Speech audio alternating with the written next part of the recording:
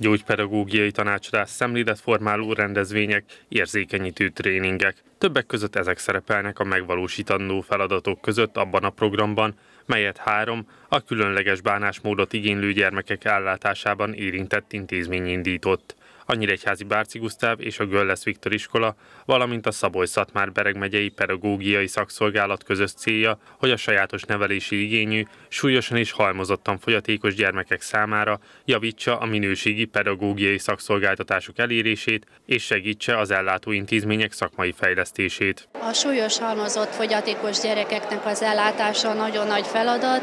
Itt szükséges azokat a speciális terápiás eszközöket beszerezni, amely segíti őket a későbbi társadalomba való beilleszkedéshez.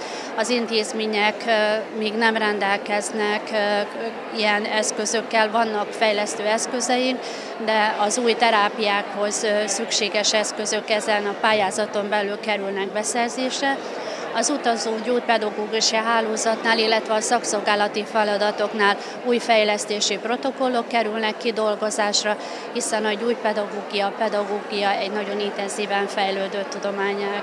A programban a gyerekek segítése és a pedagógusok képzése mellett a szülők támogatására is nagy hangsúlyt fektetnek. A szülő támogatása roppant fontos, hiszen egy súlyos halmozottan sérült gyermeknél a nap 24 óráját a szüleivel tölti a a gyermek és az otthoni fejlesztéshez adunk szaktanácsodokat, illetve bemutatjuk azokat a fejlesztési lehetőségeket, amelyeket az otthonukban megvalósíthatnak.